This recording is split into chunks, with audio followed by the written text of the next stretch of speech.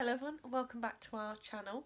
Today's video is going to be a weekly vlog which admittedly we are starting on a Wednesday because we've just been so busy but I'll include some clips of what we've got up to at the start of this week and hope you enjoy the video.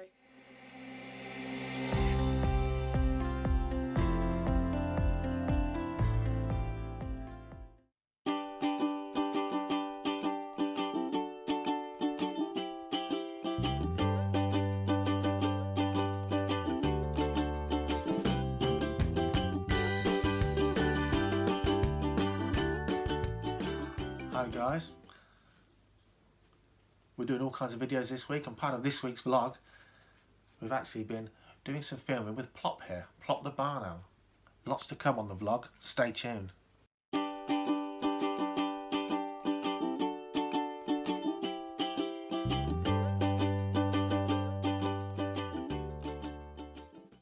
Um, it may or may not be Friday and we're only just picking up the camera but at Icarus. We'll bring you guys along for a bit of what we're up to today. It's really miserable weather today but right now we're just getting up to the usual cleaning out of animals. It's what we spend most of our life doing. Um, I think we're going to film some videos for the channel. Um, we'll see what else. Hi you guys. Weekly vlog. What are we doing today? Well, right now we're up at the Falconry Centre. We're going to pop the eagles out. We're going to feed the birds. Uh, we're going to fly anything today? No, we're not going to fly anything today. So we've got a lot of maintenance to do. We're very fortunate really that Joe and Emily are here flying the birds six days a week. It's not because I'm lazy, it's because unfortunately I'm the handyman. What are you doing, Georgia? You're making me want to wee. What are you doing? Ah!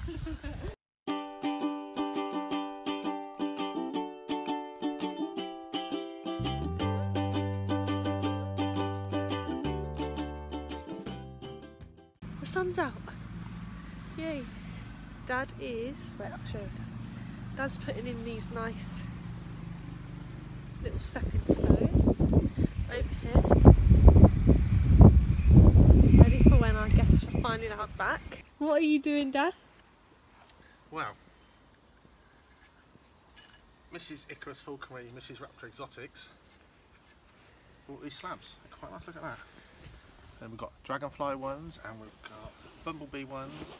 And the only reason she brought them, she thought, oh, they look really pretty and kind of naturey. Maybe we can use them at the Falconry Centre. Well, they've sat in a stack now for just over a year and they're getting on my wick. I've broke two of them just because they've been in the way. So they're just going to be a little sort of guided walkway around here. Basically, just to get them out of my way. anyway, off you trot, do something useful.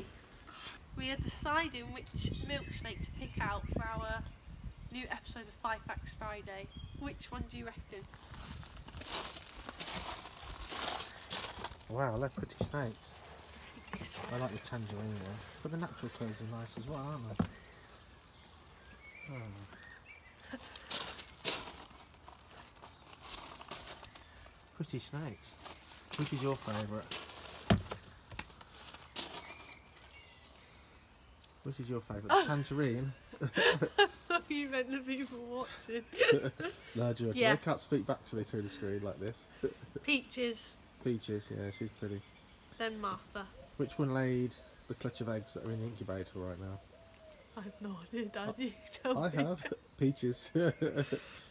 right, let's get this done. Stuff to do, stuff to do. Another one of the jobs today.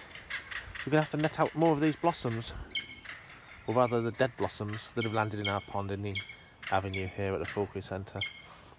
Now if you look closely at the water, you can see it's really, really murky. And that's all that organic matter basically rotting down in there. Now that's not a problem. I don't know if you can see this because it doesn't hurt our axolotls and all the invertebrates in here. And what that does do, it creates algae food. And then, let's have a look. And then, too much reflection, guys.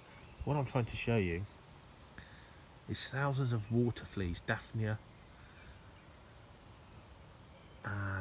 we got there? We've got some cyclops, other type of water fleas. And those guys feed on that algae that's thriving on all those organic, all that organic material from the rotting petals. So the pond's full of them, and those water fleas are absolute superfood for our axolotls, newts, tadpoles even, and all the other strange, beautiful creatures lurking in the pond. Just a quickie. I've got time to mess about, you know, but have a look. Our little meadow, little meadow area is doing just fine. It's really starting to grow through now. Doesn't look much at this time of year, but there's something spectacular. There's one that I really love. Have a look at this plant here. This is lady's smock. Beautiful wildflower. Grows all over England, really. It's called lady's smock or cuckoo flower because it tends to blossom at the same time the cuckoos tend to return back to the UK from their living abroad lifestyle of our winter. It's a really important plant because it's actually one of the most important foods for the orange tip butterfly's caterpillar. And we've seen them actually in here, not today, it's really wet and cloudy. We've seen them actually in here settling on these flowers, having a sip of nectar. The males, and I'm sure hopefully the females, have been laying some eggs. We might even get some another generation of orange tip butterflies right here within the Falconry Centre. So, Dad, what are you doing? Wait, Okay, what are we doing? We've got some weird materials in here. Pretty much food grade, plastic sheeting, um, plastic roofing material. This building here has had different uses over the years. And what it's going to be, this shell right now is actually going to be the new Raptor Exotics uh, reptile room.